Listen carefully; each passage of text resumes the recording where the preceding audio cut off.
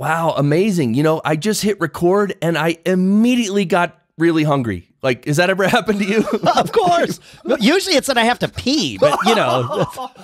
well, I guess that too. Uh, I mean, sometimes that happens too, but I've never Yeah. had it where I just immediately got really hungry. Shoot, I should have had lunch before I did this. Yeah. All right, well, let's get this going. Let the grunting begin. Ow! See, that was a hunger, hungry grunt. All right. Hungry. Yes, welcome everyone to the Podcast Engineering Show. My name is Chris Curran. I produce podcasts for a bunch of companies and individuals, and I also run Podcast Engineering School. And every week on this show, we bring you podcast production techniques on a silver platter. We really talk shop with podcast producers, engineers, podcasters, and other specialists. Uh, I have a background in audio engineering in the music business, and when I entered podcasting about nine years ago now, I noticed a huge lack of audio skills in most podcasters, and that's why this show exists because we really talk, you know, the the much deeper aspects of audio production. So, one thing, if you implement the best of what you learn here, your podcast will sound a lot better, and you'll spend less time producing them. Of course, Barry is here with me. Uh, Barry, uh, you you attended podcast engineering school, right? Yeah. Oh, yeah. Okay, yeah, he he did. He was uh, was it the was it the first semester of podcast engineering school? Yeah. Oh, yeah. Okay, first semester. Okay, good. We got that. And Dave Hamilton is our guest today. We are so lucky to have Dave come by. He's the co-host of the Mac Geek Gab show podcast. Easy for you to say. Ah!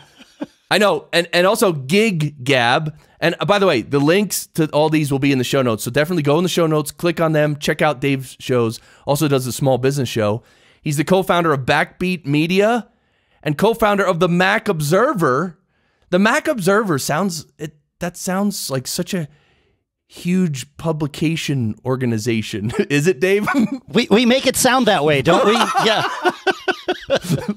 That's All right, the well, look- idea. 21 years taught us something. There you go. Yeah. cool man i just it's just awesome and so you got the three shows going and uh so how long have you been podcasting overall Uh, it's uh, it, interestingly enough, I have been podcasting for 15 years and four days as of this recording. dude so you're you're like you're one of the original og's from 2000 well five 2005. There were some people that started in 2004 for sure. So Right. you know, I I I I will take the OG label. I will never apply it to myself because I know that there were people before me. And Yeah, and I well, learned from Evo- for sure. evo terra who was who's was on the show before he started in late 2004 and he said he's Right. the 40th podcaster ever Right. So yeah. you're- well, yeah. Adam Christensen and and like Brian Ibbott and obviously Dave Slusher and and you know Adam Curry and like the, you know you could just keep going back. Well, you, you can't really go back any further than that. Right, Although right, right. You, arguably you could, but but anyway. Yeah, no. not here to argue. You know, that's funny. There are there are stories of guys, uh, and Rob Greenlee knows a lot about this. Yeah. Before Adam Curry started quote unquote podcasting, there were other guys. They were like live streaming on the internet and having Absolutely. their audio for download and stuff. Absolutely, yeah, absolutely. They weren't using RSS the way that Dave Winer built the extensions to RSS for podcasting, Right. but they were there. Absolutely, were people doing stuff. We actually had a guy at Mac Observer, uh, maybe five years prior, that was doing some like episodic downloaded news audio. There's a guy that did this show called the Your Mac Life Show that was doing that. I mean, he's like been at it ten years longer than than all the rest of us. So, Right. yeah, yeah, yeah. Very cool. Deep history. All right, well, let's do the speed round. So Okay. let's say you're getting ready to do, you know, to record an episode. Take us through, just talk us through your signal chain real quick, and then where you're recording it, and then just briefly overview your post production equipment and stuff, and then Sure.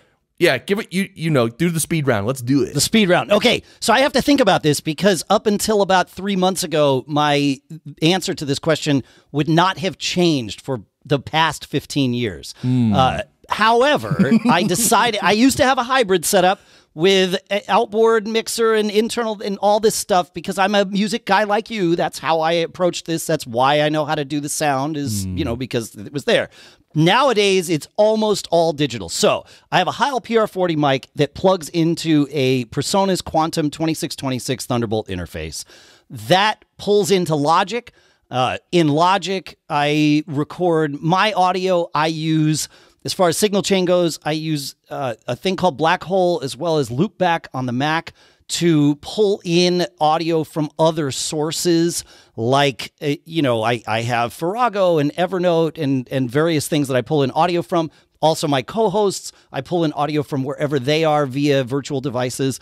And then yes I record all that multi-tracked into Logic but I also output it from Logic and record a stereo two track mix live while we're recording into Audio Hijack. And I use currently an Icon Platform M Plus external control surface so that if my co-host or me is too loud or something needs to be adjusted in real time I don't have to go fumbling through windows I can grab a you know faders and move them. So cool. old school. Old Yeah. school but Oh, new school. I love that. Right?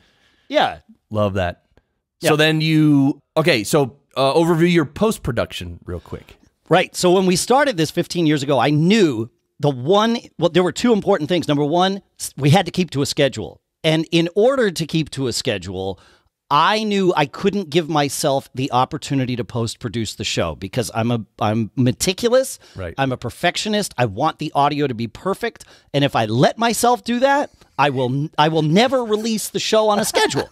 right? So this is to learning how to live with yourself. So my goal is it, and this is why I record, you know, quote unquote live to tape to that audio hijack thing here, is I record it live to tape. It's a stereo mix. I take that. If there needs to be something edited, I do it. But otherwise, that is what goes up these days. And for the past five years or so, I use an online service called Auphonic, which you're probably familiar with. And Auphonic normalizes my audio. It does some additional mastering, even though I'm doing some multiband compression and things like that here on this end too give I, I give Auphonic that file. It processes it, converts it into MP3 and and anything else I need it converted into. Adds my metadata, adds my chapters, which I also do real time while we're recording the show. We can talk about my keyboard maestro scripts for that. And then it pushes it out to various FTP servers and all the things that I need it to, and and then I and then I published an article with that link. Was that speedy enough for you? Oh, I, uh, dude, we're not gonna have time to cover all this. This is so I know. tremendous. So Auphonic, you actually have Auphonic push out the final file with all the metadata and chapters to destinations. Yeah, well, to like our FTP server that then syncs with like a CacheFly or y- you know whatever whatever Okay. we wind up using. Yes, that's right. Yeah, I know it's a lot, man. I'm surprised I can keep it all in my head. So Yeah, well, no, this is advanced stuff in terms of just uh, Yeah. file sharing and and that you know the FTP stuff like um and and automating things like. I mean, Well, I'm that's sure that's probably what you talk a- a lot about on your on your shows is like automating things and and and getting the most out of your Mac and stuff like that, right? Totally, that's that's Mac Geek Gab. Absolutely, is we're we're constantly talking about how to yeah how to make your experience with your Mac better. It's Hmm. a Q and A show, right? So people send in questions, and we it yeah. The goal is to learn five new things every time we get together on that show. So You know what's funny? I was just working with Steve Stewart because he just got loop back and he has a little he has like the trial version of Audio Hijack. Um and and and we you know, I was helping him set up all his routing and stuff because he wants to do live streaming and obviously Yes. loop back and Audio Hijack is great to route things out to a live stream. Uh but he's actually having some trouble like he because he wants to hear himself and of course monitoring your own mic and monitoring everything else is I don't I don't know why it's not that easy because a lot Well- of times when he starts monitoring himself he'll hear an echo of himself. Correct. And and so like I did that for a long time. I've always wanted to hear what what audio engineers call the third head, right? The I want it to be recorded to the tape and then I want to hear it back off of the tape. Now, with digital, it's not there's no heads. But but that concept, I want to hear not what my mic sounds like, but what my audio sounds like after it's gone through the signal chain.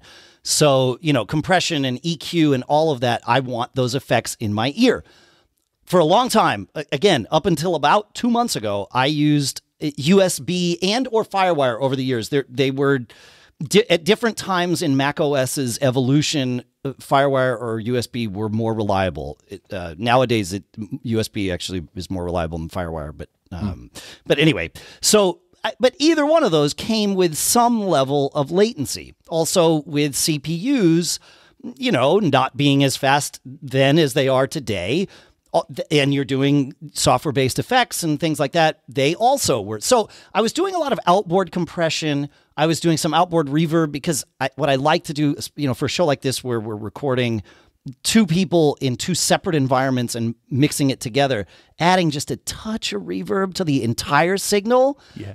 puts us in one room, right? You put enough in that you hear it and then you back off a hair and, and it's golden, right? But anyway, I was doing a lot of that. I know I'm crazy. I was doing a lot of that outboard and uh, and then realized recently a friend sort of asked me like, why aren't you doing this inboard? And it's like, well, because I, actually I can now. And so I re- I took, you know, quarantine time to revamp my entire setup. But I got used to hearing myself on a little bit of a delay. I worked tirelessly with um, Paul Kafasis and his team at Rogue Amoeba, who are the folks that make Audio Hijack and Loopback, to get the latency in Audio Hijack as low as we could. And now uh, there is a slider in Audio Hijack where you can set three levels of latency. It's not quite granular, but it's also it's it's good enough, you know. And so you can set your latency there if you're using Audio Hijack to monitor and hear your you know hear your audio. Right. you know, for me it was I got it down to about a probably a 25 millisecond delay, 20 millisecond delay when all was said and done. Hmm. I'm so used to it that when I moved to the Thunderbolt interface recently, I had to add more latency, more buffers in Logic because it was too real time. I, it, I, I, I like, I like a little bit of delay because I'm making my own noise inside my head, and hearing just that touch of delay actually lets me hear the quality of the audio as opposed to just me. Right. So I know that's um, it's weird, and when I have guests here in the studio, I have to tell them, look, you're going to be okay with it, but you're gonna you got to know that there is a little bit of delay that you're going to hear, and and they, and everybody is. I mean, it's not like if it's more than about 30 milliseconds, you can't do it, but uh, Right. but less than that, you can. Yeah, you can get used to it. So, Right. Yeah. By the way, that's the- probably geekier than you ever wanted to get. I don't Oh, know. oh no, we love this. Oh, we're is- good. This is what we Okay. do here. We love this. Great. Thousand percent, we love this. Okay. Um, Do you know that insurance companies, if you if you go to them and, and say like, hey, you know, I've got hearing damage from a thing and you should pay me money, they'll put you in a room. They'll put headphones on you. They'll figure out which ear is damaged, sir. Oh, it's my right ear. Okay, great. Yep, can't hear. It, great, no problem. And then they'll just give it in front of a microphone and they'll give you a script and they'll say, just read the script. And they'll put your audio back to you in your, you know, quote unquote damaged ear on about a mm, 500 millisecond delay. And when you stop dead in your tracks while you're reading, they know that your ear is working just fine. ah. Because unless you're used to it, unless you're really used to it, you couldn't do it. Like it will stop you. You could get, you can then like plow through and muddle through it, but that initial stop is like "Ah, that's all we needed, Your Honor. Yeah. no, that's so interesting. Yeah, because you Yeah. can't if you're hearing yourself on a like like you said, 500 millisecond delay. Oh, that is so you you, you can't even talk. Can't It's- function. No, no. So by the way, I want to let everyone know my where I am in my basement studio and the neighbor's house is, you know, through through the wall in front of me. They my neighbors never make any noise, but they started actually renting out their house through uh what is that? Airbnb, Airbnb or something yeah, like that. Something. Yeah, and sure. uh, so now there's people there on their back deck making noise. So let's see if we can let's let's pause for uh, a message from the the neighbors on the back porch. Of course, now they're not talking. Okay, no, great. I don't hear him. I All had right, anyway. my noise gate for you to, to make sure I could hear him, but yeah. You know, I want to make sure they had their voice on the podcast, give them a chance Yeah, to you know say something. Hey, Um, equal opportunity. Oh God. So all right, so let all right, let's start from the beginning. Let's step through this. Okay, PR40, the Heil PR40 microphone. Uh, and I love, I always love that sound sound effect that Dave Jackson plays with the Heil PR40. Um, yeah, yeah. So, have how long have you been using that mic? Um, since uh, I first met Bob Heil, probably in 2016, I want to say, Okay. and have been using his microphones ever since. I, like I said, I'm a musician too. I the PR40 was the first of his that I used, and I was like, oh, holy crap! And so I, you know, I called him up and was like, I need to learn more. It was an interesting phone call because it, it sounded like this drunk guy answered the phone and, and was like, hello? and, and I was like, yeah, yeah, can I talk to Bob? He's like, ah, hang on. And I hear him, Bob, you know, and, and I get on the phone. Now, 20 minutes into the conversation, I realize that Bob's business partner is Joe Walsh. Joe Walsh isn't drunk anymore. He wasn't drunk then, but he sounds like he's always drunk. Uh, that's just how Joe Walsh sounds. So it was Joe that Joe that answered the phone. Yeah. Yeah. Bob's like, oh, yeah, Joe's my business partner. In fact, you just talked to him. I'm like, oh, that's interesting. Uh, What a character So- he is. Wow.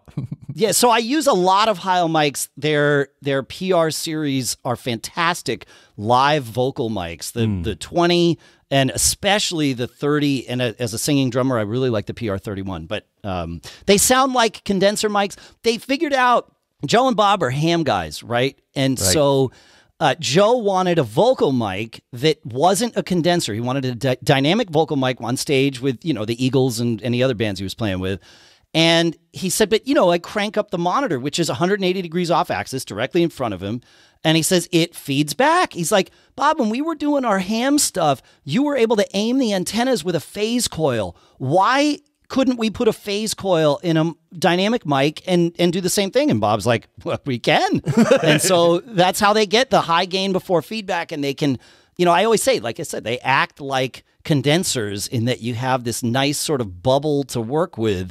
But they're dynamics, and so they're only taking the sound you shove into them, as opposed to you know trying to pick up everything. And uh, not that you can't adjust the gain and make a condenser work as a live mic. Of course you can, but but I like the what the Heils do because they have that dynamic sort of presence to them. So Yeah, and the the the rear, the the rejection.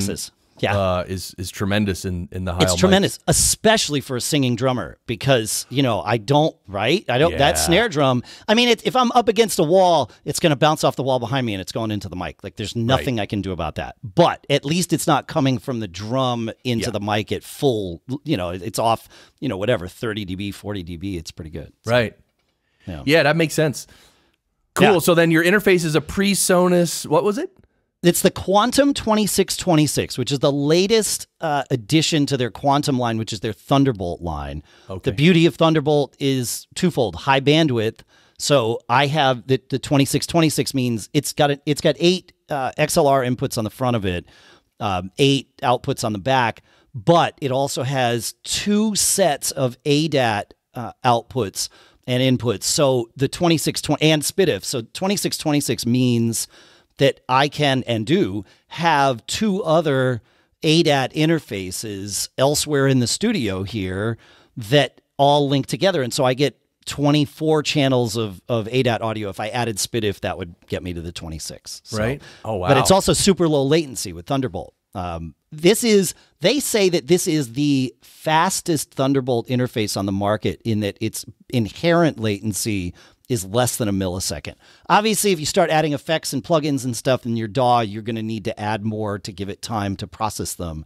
But um, like at the moment, you know, in Logic, I'm like I said, I have more buffers than I need. I'm I'm at 128, and it's uh, 8.7 millisecond round trip, which is killer. Yeah, You know. that's Yeah. awesome. And so it has eight XLR inputs. And so Correct. what what what are you inputting into that interface? Oh well, I'm a, a drummer, and so I oh, have for Right. drumming, uh, that makes sense. I, I was thinking, Correct. I, I had podcasting on the brain. So At the moment, one thing is plugged into it and that is in use, you know, and that's it, my. PR40. Yeah, yeah. So it's a little bit overkill. And certainly you can get Thunderbolt interfaces that have less inputs on them, but they're not that much cheaper because like you're buying processing like there's the whole universal audio thing where they add their own DSP into the interface and Right. so you know yeah you can get a two channel one for less but it's only 500 bucks instead of 650 so it's like well if i don't need that dsp i don't want to buy it Right. so yeah so yeah. oh, so the the PreSonus Quantum twenty six twenty six is about six hundred and fifty bucks. yeah Okay, it's the cheapest thunder it's the cheapest 8 channel thunderbolt interface you'll find by more than half or less than half depending on wow. how you look at it yeah you're you know it, i think like the the uh, the focusrite might be the next one up price wise but but it's close to 2 grand i mean it you know it's just yeah it's crazy yeah, okay, wow. Yeah. And the cool. preamps on it are awesome. One thing about the PR40 is it because it's a dynamic mic, it requires a crap ton of gain. Right. Often with other interfaces, I've had to use a FET head or a cloud lifter to get enough gain before the preamp even. Right. Um, and and and if I didn't, you know, the preamp, I, I'd have to set the knob at like five o'clock or something. So you're at the top of the preamp where it starts to distort. Maybe, Yeah. you know, it, it's adding more coloration. On this one right now, I'm at you know 130 maybe, and with no FET head or or yeah. So there's tons of headroom. Wow. Yeah. that's a lot of gain. That's great. It's great. Yeah, I mean, I could turn it up more and then it would distort. That's bad. So like you know, that's a th- it's a good thing. Yeah. So when we connected earlier, when we first connected today on on Squadcast, that's what we're using to record this episode. Um, you, I asked you to push your gain up a little, and so you, what did you boost the preamp up? No, I the preamp's right where I want it. What I did was I boosted my output from Logic to Squadcast up because that way you're getting me with my, you know, with my EQ and some compression and all of that stuff, and and so it's just my output from Logic was was boosted up. Got it. So let's so let's get into that. So you're obviously Sure. you have your mic plugged into the your PreSonus interface, and then in your computer you have Logic Pro, Yes. and you're so tell us the internal routing. Well, then and then you're using Audio Hijack to route that to over the internet to me. Eh, no, no. Okay. So Audio Hijack at this point in time is only being used to record our fully mixed, you know, that's my live to tape. Because strange as it may seem, it's non-trivial to get Logic to record a two-track mix live. You can bounce to a two-track mix, but I don't want that because then uh, suddenly we've opened the door to Dave post-producing things, and now days go by. So, uh, so uh, we'll start backwards. We'll start from Audio Hijack if you want. Sure. Uh, so Audio Hijack truly is just taking an output from Logic and recording that to whatever type of file I want, which is a an ALAC, a Apple lossless.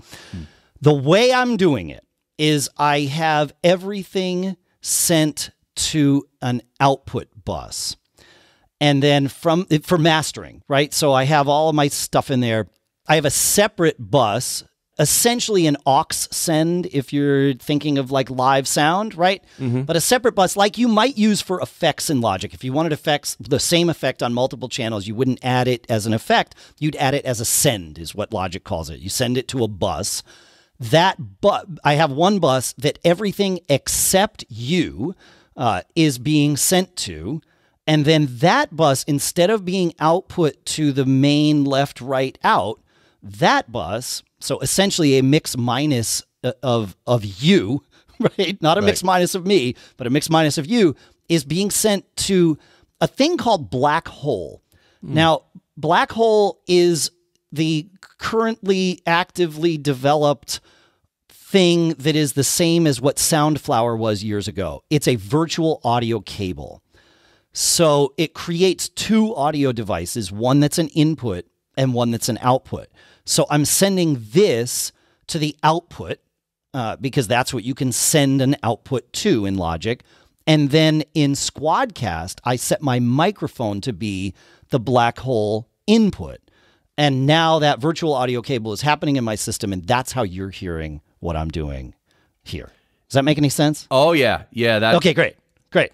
Yeah, and I yeah, because I pretty much do the same thing. I just don't use black hole. I just create like in Audio Hijack itself. I create a virtual instrument, which I send the audio to, and then I and then that's what I send to Squadcast or Chrome in this instance. Yeah. Okay. So All right. similar. Okay. Yeah, it's, si- it's similar. You're using a virtual audio device one in in one capacity or another. Yeah, yeah, yeah. Right. Yes. I yeah, I started doing it with Loopback, but Loopback got weird coming out of Logic for some reason. It had to be oh, because in order to do any of this in Logic, Logic will only see one audio device at a time. So if I want Black Hole and my Presonus interface and potentially anything else that I've created, like, you know, all the stuff that I have created in Loopback, if I want all of those available to Logic, I have to, on my Mac, go into the Audio MIDI setup app and create an aggregate audio device that has all of these things. And if you saw my aggregate audio device right now, I think it's got 50, about 50 channels on it. well, because because I want all these options, right? And Right. so one of those, well, sixteen of those channels are black hole because black hole is a sixteen channel device, which is great because you can send. If I'm sending something to you know output three on that, it only goes to input three, outputs one and two. So I've got sixteen virtual audio devices at my disposal in that rack, Right. Essentially. So And so just, yeah, just to why. break this down for everyone listening, what we're talking about virtual devices, all of this is just to route different audio to different places. So it in at the simplest, that's what that's what we're talking about doing. Within one computer, you can route different audio to different applications for, for recording purposes or even streaming purposes and all that. Yeah. So Well, that's the thing is like Squadcast is a great example. It only will see audio devices, right? So I can't tell Squadcast, go get my audio from Logic. It doesn't know how to do that. It just taps into the OS and says, show me what audio devices you have. So that's why we create a virtual audio device so that we can pump things to something like Squadcast or Skype or anything else that can only see audio devices. That's why. Exactly. Yeah, and and and and so in essence, it's simple what we're talking about, but in practice, it is confusing because when I first got Audio Hijack and Loopback, like it literally took me like a week Yeah. to figure out how I wanted to do it, how best to do it, and you know what I mean? Like just Oh, 'cause you're- totally. You're you're, taking it. It's like with these virtual instruments and stuff, you can literally do anything. Well, that's the that's the problem. Thank goodness. And and, and the amazing part is, it, Black Hole didn't exist back in back then. Loopback didn't exist back then. Audio Hijack existed as Audio Hijack Pro, and it is what we use to do all the routing.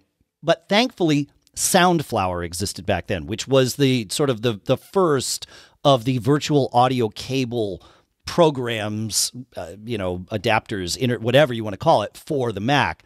Without that, I don't know what I would have done to set up my podcast initially because what I did was I would go into an outboard mixer and then I would take we used Skype initially, but again, it doesn't matter. But we had a VoIP connection because my co-host and I were not in the same location.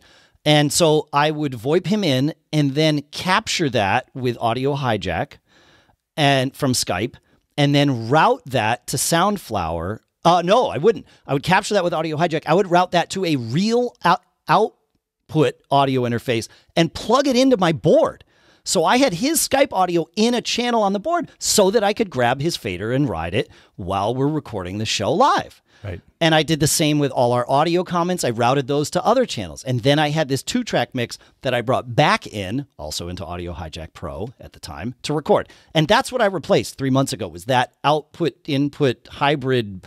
I mean, as confusing as it is with black hole and all that, at least it's all just in the computer. This was literally being done, half of it anyway, with cables. Yeah. You know, yeah. Yeah, routing to Yeah. a mixer and then back. Yeah. and then back. Yeah. Yeah. So there, like, think of all the latency of that, like getting out of the computer, back into the computer. And again, I'm hearing one more trip because I, my mic would go into the mixer. Everybody else's stuff would come in. I, and so processed on the computer on the way out, then mixed on the mixer, but that was analog. So mm, not that much latency. And then back in to the computer. So a little more latency. And then from the computer, the back out so that I was hearing the computer's version of the final mix. Right. So that's where that extra latency came from. Yeah. it wasn't the eight milliseconds it is today. All right. Is everyone's brain scrambled? Barry, how Mine you feeling? is. Oh, forget it. Barry, yeah, I'm telling you, Barry, it's this is awesome. So let's talk about your Icon external control surface because I well, okay, so there's a bunch of things I still don't have. I don't have a second monitor or third monitor, which when I tell people that they're like, "What?" I don't, I don't. I don't even understand what is this madness you speak of. Yeah. I- yeah, exactly. And then I also don't have any external controllers. Some people use like shuttle wheels to edit faster. Other people use something like you're using with fa- actual faders and knobs. Uh, Marcus DePaula is one of those guys. He has a control surface. So the icon, tell us about that. So I've been testing all kinds of these things. Uh, the one I have set up at the moment is the Icon Platform M Plus. Uh, it is an eight well, it's got nine faders on it. Eight are assignable based on where you are in your DAW, and then one is sort of fixed to the master. So in most scenarios, it's sort of useless. They are all motorized, meaning as I move around in my DAW, it it shows me eight tracks at a time because that's all that exists on the control surface. But as I move around in the DAW, the faders jump to to match whatever's happening in uh, in Logic. Right. Now- so if you if you move the fader on the screen, the physical fader on the controller will move. moves along with it. Yeah. yeah, Yeah. Yeah. yeah. Which is great. So the cool. beauty of this this platform M Plus is it's I mean it's a solid built thing. It's great and it costs less than 450 bucks. Hmm. I also tested like the PreSonus Fader Port 8, which is great. It only has eight, not nine faders on it. It has some different commands and, and buttons and things like that. You know, in addition to the faders, you've got, you know, your mute controls and your pan and your, you know, your shuttle controls to play and pause. And that one's like 1200 bucks and you know also has motorized faders and all that. But for motorized faders this is about the the least expensive i've found that that works reliably. But i've also tried them without motorized faders and you know what? It works. I i didn't think it would but um but it, it does. I, I tested out the Korg nanoKONTROL uh, which is a wireless interface. It's like 179 bucks. It does not have motorized faders but it works. And the way the way they handle it is if i jump to you know a, a, a bank of eight tracks well obviously the faders are not going to match what the tracks look like on the screen. On if let's say my fader is lower uh, physical fader is lower than the one on the screen it won't change the one on the screen until i push the physical fader past where the one on the screen is. So if it's low and i pull it down nothing happens i have to push it up and hit that point it's almost like catching it and then logic will move with me so it, you know it it it actually works it, especially if you're in a scenario like like I am here, where you know you, you're you're mixing just a few things. If you're jumping around in a project with 50 tracks, you definitely want motorized faders. You drive yourself crazy otherwise. But you know, for what I'm doing live mixing here, that's great. And that Korg one is it it's wireless. You can plug it in, or you can do Bluetooth, and it's oh. battery powered, Oh man. which is you know so and it's tiny. Like you take it with you on the road. So so Dude, so you could like sit on the couch in the back of the control room and just sit there and twist, you know, push faders and mix. Yeah, nobody can see the video, but it is tiny. You know, it's it's maybe twice the size of my my Heil mic. I mean, it's small. Yeah, Oh. and you know, like it, throw it in your suitcase. oh Good to yeah. go. Oh, you're actually holding it up. I was, I'm holding it up, yeah, Yeah, so yeah. you can see. We I can see. We can we can describe for everyone else. Oh yeah. Yeah, it's like so kind of like the size of a piece of paper, but a little shaped a little different, but yeah, something it's like that. it's it's a it's like a wide iPad Mini is probably the the the most uh, the best way I can describe it. Yeah, and it works. And you um you manipulate that live while you're recording? Yeah, totally. Yeah, Okay. works fine. I, I have recorded shows with it. it. Like I said, it's not the one that's that's hooked up at the moment, but uh, but I've done it and it's fine. Yeah. So 179 bucks now, and for a podcaster, probably the right thing. You know, if you want the motorized faders, well, then the Platform M Plus is your next option because that's 420 or something like that. But Right. Wait, which is the one without the motorized faders? that's this one, the the 179 dollar Korg. I got it right in front of me. I should be able to tell you. nanoKONTROL. Uh, well, what do they call it on the web? I got to find it. The Korg nanoKONTROL Studio Wireless Control Surface. It's 179 bucks at Sweetwater last time I checked. Okay, cool. Yeah, I want to write that down so people can uh, Yeah. check it out. So, all right. So you do your live to tape with stereo with all the routing and all the processing. Let's talk about the processing. So you said you're adding some EQ and compression and stuff. How are you Yeah. doing that? These days, I'm doing it in Logic. Um, it's all software. I previously I was doing it with outboard gear, and it you know most of the time, quite frankly, it was a you know Behringer uh, pro, uh, composer, I guess they called it. Uh, you know, people like to people pro audio people often will poo poo Behringer gear, and and I I get that. Y- You know, they they had a long history of bad power amps for a long time. Fifty percent reliability rate isn't great when you're on a gig. Um, yeah, but their their solid state stuff has been great for me. And for what for doing what we're doing with a podcast, I mean, in the end, this is gonna be on, you know, 96K MP3 or something. I mean, it's, you know, it, that worked great. And I so I used uh, the same things that I'm using now, a noise gate and a compressor uh, are are how I do it. I used to route noise gate first, uh, then compressor, then EQ. So essentially a, a standard channel strip routing. Uh, and then obviously it would go to the fader where I would control its relative level. Once I got it into Logic, I, I copied that workflow, that signal chain, you know, exactly because you can in Logic do whatever you want. And I was messing with something one day and I was like, wait a minute, why do I want my EQ after my noise gate? Why am I letting the EQ that I don't want be the thing that opens and closes my gate? And I thought about, you know, doing a side chain on the noise gate and I thought I don't even need to do that. I just put the whole EQ first. So I do the whole EQ first and then the gate and then the compressor. And then a de-esser afterwards just cuz for good measure because that's a good thing. Right. Yeah. Yeah. That's cool. All right. And so wait, so you're doing it in Logic Pro. So are you using standard Logic Pro like plugins that are in Yep. Logic Pro? I, I am. I've experimented with with some others. The um, I- iZotope's Neutron plugin is a great channel strip plugin, and and for you know music recording and things like that, I really like it because it it links with all their other plugins. So you can run some of their mastering stuff and it can sort of peek into what you're doing in your channel strips on your individual channels. Right. And so that holistic approach is kind of cool. Uh, and is really where they where they shine at, at iZotope there. So I messed with that, but Logic's plugins are in terms of latency are much faster than anybody else's. No great surprise. I mean, they're written by the team that writes the DAW, right? So, you know, they're baked in and I know that this is fully portable. I can take, you know, whatever I'm doing here and move it to my laptop and I know I've got all my plugins exactly the way I would expect them because they're they're defaults. And Logic's plugins are really good. I mean, like their compressors, I, you can get like their optical compressor is super musical. I hmm. really like it. Yeah, yeah, it's good. Oh, that's cool. Yeah. So, all right. So you use since, you're doing this, you're recording it basically live to tape. Right. So you have all all your processing, the EQ, the noise gate, the compressor, and the de-esser. You have all that set up beforehand.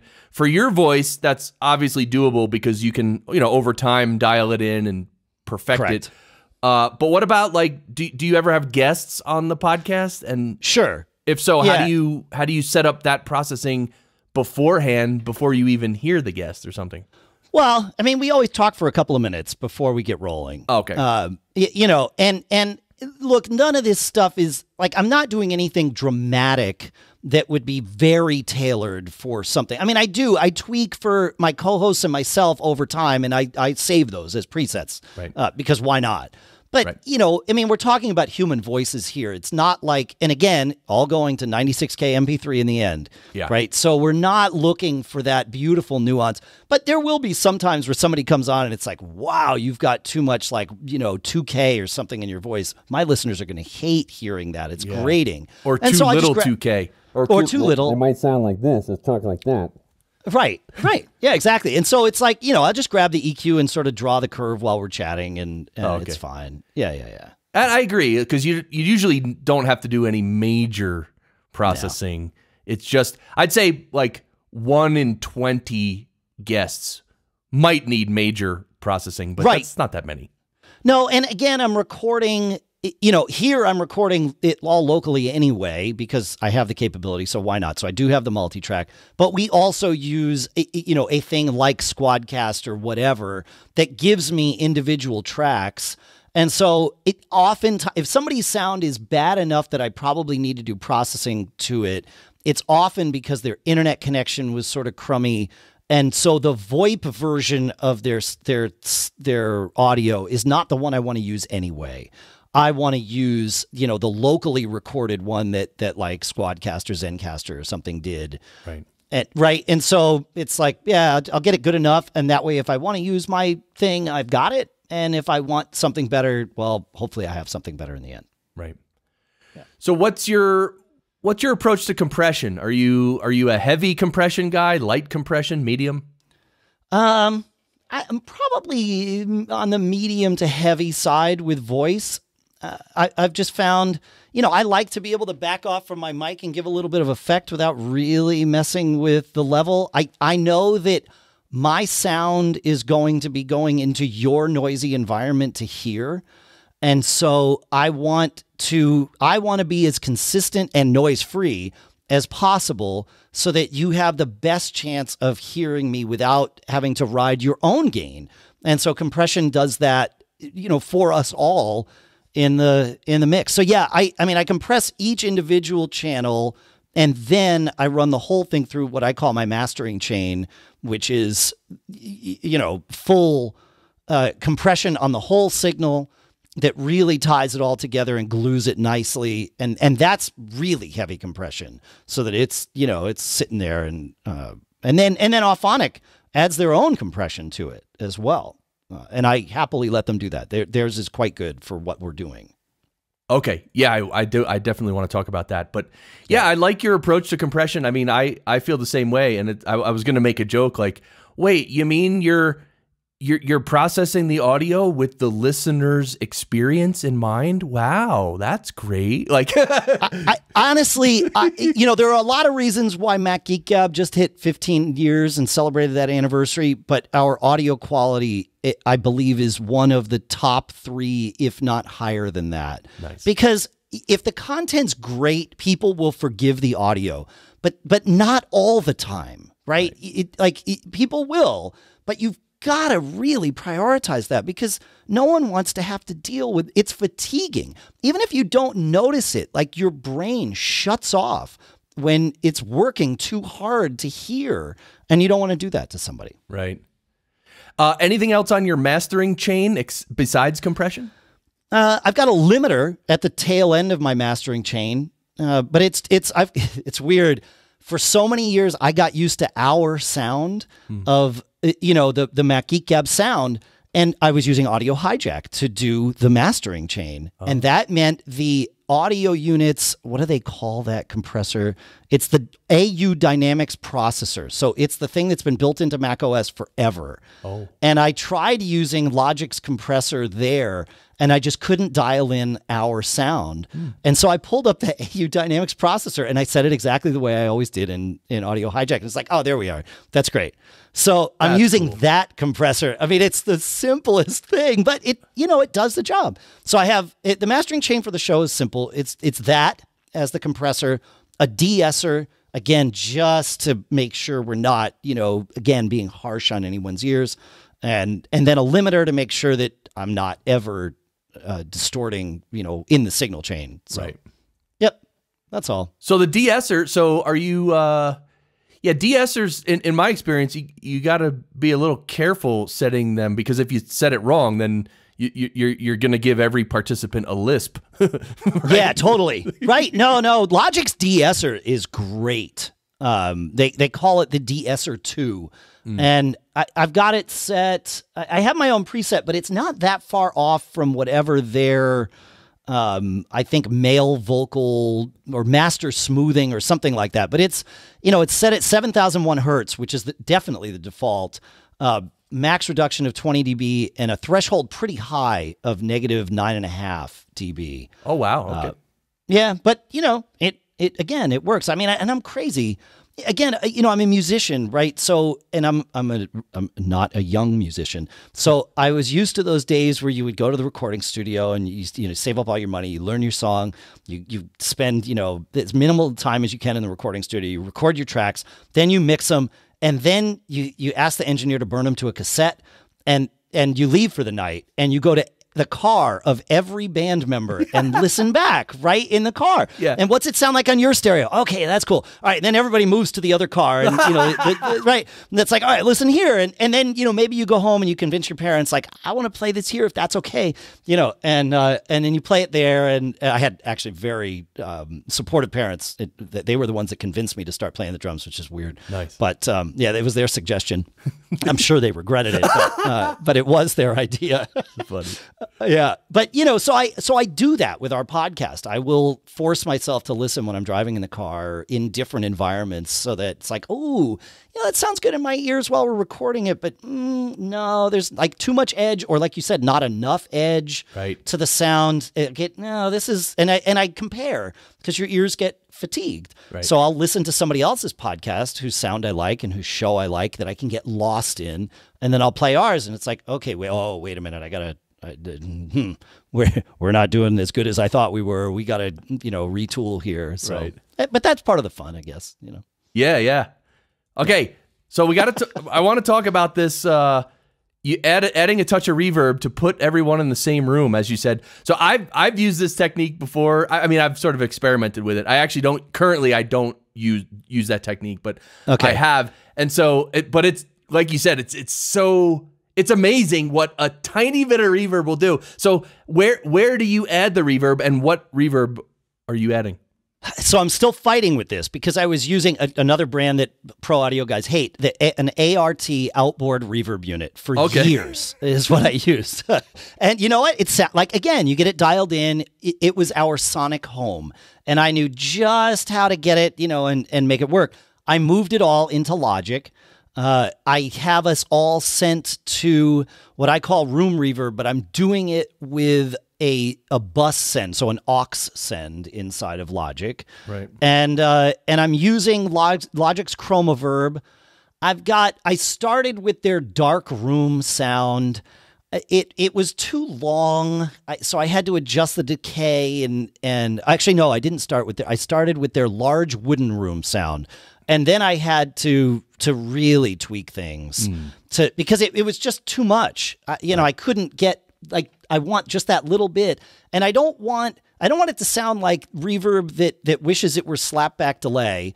You know, where, which is what you get if you choose really small room uh, in Logic. Right. And then if you choose, you know, vocal chamber or something, I mean, it sounds freaking great if you're singing, but you know, no one would want to talk with that much reverb swimming around you. So I had to sort of dial in, and I'm not that good with Chromaverb yet. I've only started messing with it recently, so uh, you know, I was like, how come nobody makes a podcast pre- preset that that is exactly tuned to what I already want? Like, how come they're not reading my mind? Um, Right.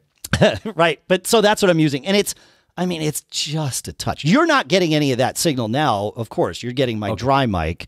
Um, but not that it would have, again, it's not much. Right. It's very, very little. It's very And- and and, and, I, I I totally appreciate what you said about you can't use a reverb that's too small, too uh, too like a small room reverb, and you can't use one that's too big. It, there's there's this medium level that you kind of got to dial in, so just to give that subtle effect.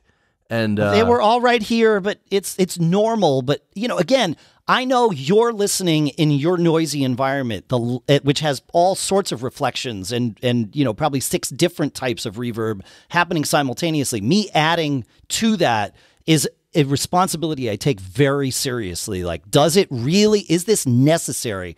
And it it is. Like, if I drop our reverb out, I mean, I think my reverb knob on Logic is at negative 52.6. Now, negative 60 is you're like nothing, right? So, I mean, it's so low that if as I look at my faders on my platform M Plus, the reverb one is barely off the bottom.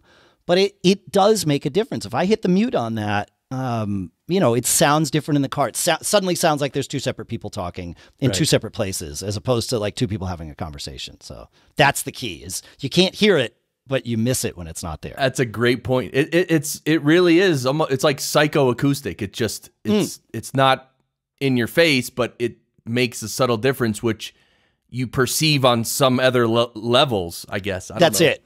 yeah, that's no, that's what that's the goal. Is that it's yeah, it's this thing that's that's you know subconscious ish. Yeah, Yeah. yeah. Remember, uh, well, growing up in New Jersey, we had this radio station called. Uh, it was like the oldies, one hundred one point five, and like yeah. the all the DJs had like significant reverb on their voices. I, I, grew, I so I grew up on the other side of Manhattan. I was in in Fairfield County, Connecticut. So I heard all those stations, and it was like, yeah, they're fighting for who has the most. Re- like, wait, they're using more over there. Uh, we can add, guys. We got to add. yeah, and they. What's funny is in in in the in production, they probably added a tiny bit, but you know, I think radio stations when they send their signal out, they put it through like a bunch of compressors and limiters, and Oh, absolutely. they kind of squash it almost to death, but not really. But they do it in the right way. And when you squash stuff, it it brings up the background noise and the, reverb. Yeah, That's, that's exactly what it was. Is it was compressed reverb. That's right. yeah. Yep. Yep. Yeah, that's a good point. I never thought of it that way. Yeah, they weren't hearing it like we were hearing it. Yeah. Yeah, but I mean, but they, I'm sure they, you know, It was intentional. I'm They sure knew. they, uh, you know, they uh, they listen to their broadcast, like they they know how it's ending up, but totally. but yeah. So let's talk about were- Auphonic, uh, Yeah, because you're okay. using that quite a bit, and Auphonic is a great service. A lot of people use. It can do so much. Uh, so yeah, just kind of overview what you're doing with Auphonic again, maybe in a little more detail. Yeah, sure. So Auphonic is um it can be a desktop app or an online service. We found when we looked at it that the desktop app did not have half the feature set of the online service, and we needed most of those features and not so much of, of what it was offering in the desktop app. So it's a it's a pay as you go kind of thing. You pay for hourly. It's relatively cheap. I mean, I with five podcasts running through it, three of mine, two of the other ones from Mac Observer. You know, we're maybe spending mm, twenty bucks a month or twenty five bucks a month. It's nothing, right? I mean, it's in. Con- I don't want to say twenty five bucks is nothing. It's it it makes perfect sense for us. It's it's yeah. So um, what Auphonic does is we we send up our mixed track usually a lossless track like a wave or a FLAC or something like that. And then Auphonic adds all of our metadata and they have profiles or uh, I think they call them profiles, presets that you can configure so that it, you know, you're not forgetting anything. It, it, it knows what you want. Uh, you add in your stuff, you put in your artwork. Auphonic will also bake chapter markers in. We, because we're a Q&A show at Mac Geek Gab, the chapters are something our listeners love because if there's a question that, you know, is about an Apple Watch and they don't have an Apple Watch, they can just skip to the next one and it's totally fine, you know. So our, or if there was a question about an Apple Watch and they have an Apple Watch, they like to be able to go back and hear it again. So we do we do the chapters and I have a I can send you a link uh, to an article I wrote. I use a Keyboard Maestro uh, Mac set of Keyboard Maestro macros that I wrote to be able to just drop real time chapter markers into uh, a document so that as I'm doing the show, it's like, okay, well, here's the timestamp of this and here, and I don't have to think about it. It's great. Oh wow! So as you're doing the show, you're you're marking literally marking chapters live, Correct. and then then you have a list of them. So how do you how do you actually add the chapter markers in Auphonic? That's the beautiful part. Auphonic, you can do them manually, or Auphonic will import a text file oh. with chapter timestamps, names, and links. And so, as long as I format my document in real time in the right format, which of course we mostly do, then Auphonic just slurps it in. I don't even have to, it's done. Yeah. Yep. So we put our chapter markers in, we, and then Auphonic, we also get to tell it how we, what we want it to do with the file. So convert it to MP3, AAC, video, uh, so that you can push an audio only version of your show up to YouTube if you want to do that. You know, format for SoundCloud, what you know, whatever. It's it, the world is your oyster. You tell it all the things that you want it to do, and then you tell it what you want it to do with them. So it offers all these files up for download when it finishes, or and or you can have it upload them to your service or services of choice. So, you know, we, because we're Apple people and we started a long time ago, and originally there were no chapters in MP3 shows, we have two versions of our show. We have an AAC with the chapters and now an MP3 also with the chapters. This year, we're probably going to merge them all into MP3 now that iTunes has sort of gone away and Apple's Music app, because iTunes doesn't let you see MP3 chapters, but Apple's Music app on the Mac does. So finally, we are are being freed from those shackles. But anyway, so we have several different versions that we upload. Like I said before, we use an FTP server, but you could upload to WebDAV or really uh, probably anything you want. SoundCloud, YouTube, you, you name you name it, they're in there. So I built these presets. I go, I put the file in, I put the uh, the name of the episode. I import the chapters. I put our episode art in if I want to replace my default. And if I don't, then it sticks with the default because that's part of my preset. And I hit go and I walk away. And it usually takes about five or 10 minutes to do the upload and process and then do the upload again, you know, to the next spot. And then it gives me a link that I, is also built as part of my thing. And that's my front door link to where my audio is when it's finished on the back end. And, um, and I put that into, for us now, WordPress, and I'm done. Okay, so who? How do you host your media files? Are you do you use Libsyn or Blubrry or a classic media host like that, or do you do it a different way? We've been working with CacheFly since almost day, uh, you know, probably day 350 or something. It was Okay. we were not quite a year old when we met the folks from CacheFly, and and uh, and we've been working with them ever since. They've been great. So So CacheFly. So that's where. Okay, so then so Auphonic will send it directly to CacheFly. Well, it would, yes. Okay. But I like to have a fi- a copy of my files. And so I have Auphonic send it to to our server in a place where no one would ever download it. And then I use because I'm a, also a geek. Remember, Mac geek Gab. uh, uh, for, if you've been listening for an hour and you haven't figured out I'm a geek, I don't know. but I don't, I don't. Maybe I didn't need to say that. Uh, I, I use rsync to automatically keep what we have on our server in sync with CacheFly's server. Uh, but you could FTP directly to CacheFly. Like, I mean, they support that too. So I could have it go right there. In fact, it might even be smarter for me to just have Auphonic sent to both places. I don't know why I never thought of that until now. It's because I'm not that smart. Sometimes I outsmart myself. So there you go. So CacheFly is your media host, and so CacheFly then CacheFly is creating your podcast feed, which is then registered with Apple and Spotify and iHeart. And, No, CacheFly is just our CDN. So we create our own podcast feed from our own WordPress plugin for Mac Geek Gab. For for Gig Gab and Small Business Show, everything else is exactly the same, except instead of using our own custom plugin, we use PowerPress uh, for those two shows, which are which is from the folks at Blubrry, and that, quite frankly, is great. Uh, there are there are some internal reasons we use our own plugin at, at Mac Observer, uh, but there's days I wish we didn't. So um, yeah, all right, cool. So your feed's generated. non-political reasons. I love those guys at, at Blubrry. Todd has been a long friend, but um, Right, yeah. it's just just based on the way we have our architecture built. It we kind of try to keep it, things in in one spot. That's the only reason. So yeah. Yeah, makes sense. Well, wow. I mean, so is there any? So we're we're almost at the end here. Uh, one last question, but I want to remind everyone that they should go and well check the show notes for the links. But your show, Dave Hamilton. Well, you have several shows. One is Mac Geek Gab. One is the Small Business Show, and one is called Gig Gab. So everyone, click through if you want to hear Dave's shows and stuff like that. Um, is there any like what you said you know over the last few months you've sort of revamped a lot of stuff are you 100% happy with how it all turned out or do you do you still want to tweak a few things in your setup Well, it, it, those are not mutually exclusive things, are they? I mean, I'm a geek, so I will never stop tweaking. Right. But I, but the, but fundamentally, what I have going now it is great, and it's way better than what I had previously. Um, in most cases, it would not have worked 15 years ago. The technology just wasn't there for us to be able to do this.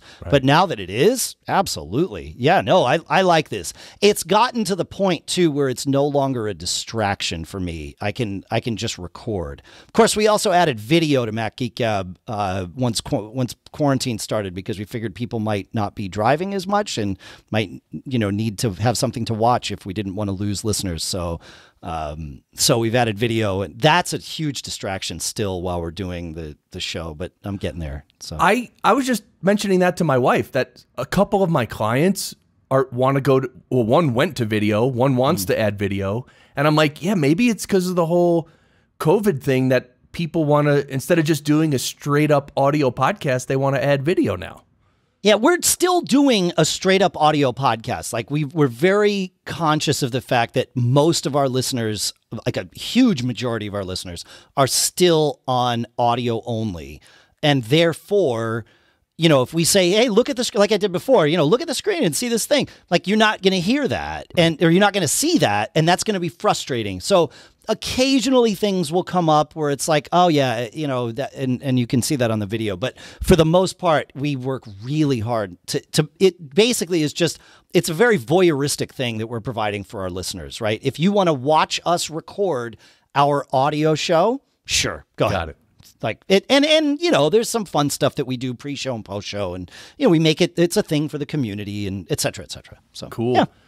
So, all right. Well, so before I ask you to scream into your microphone with me, and I, I'm going to ask everyone who's listening to scream, yell. I guess yelling is better. Oh, uh, if you're a singer, it's better to yell than scream. You don't want to shred your throat. yeah, that's right. um, but I will say you are a very unique balance of someone who is a geek and who is also very interested in audio quality, and at the same time, you have your processes streamlined so much that you don't take forever to pr- to produce your audio. It's a very good, very good balance you have. I don't know if I know anyone who has that sort of a balance that you have. So that's that's Uh, awesome. I, I yeah, when I start explaining this to people at you know various different podcast you know expos and conferences, and and that's you know these days, and also you know 14 years ago, everybody looks at me and they're like, "You're kind of crazy," and I'm like, "Oh, I know, but this is all very intentional. Like it, you know the the."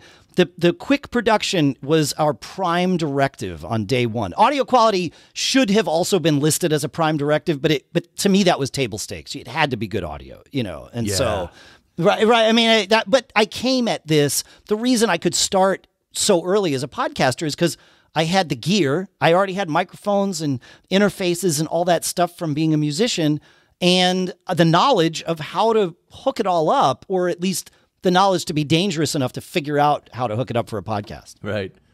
Yeah. That's awesome. Well, Dave Hamilton, thank you, brother. And by the way, so if, if people can go listen to one of your shows, which one should they go listen to? Uh, if you made it through all this, Mac Geek Gab is for you for sure. Okay. But but if you like the music stuff, Gig Gab because you know that's where we talk about that. So. All right, cool. Well, thank you, Dave Hamilton. It's a pleasure having you on the show, brother. Thanks for having me. This is great. I can't believe it took this long for us to uh, to meet. I'm glad I reached out, man. I This is know. So, everyone, it's now our time to finish the show, and everyone's going to yell, sound great. So, all right, Dave, go. Yeah,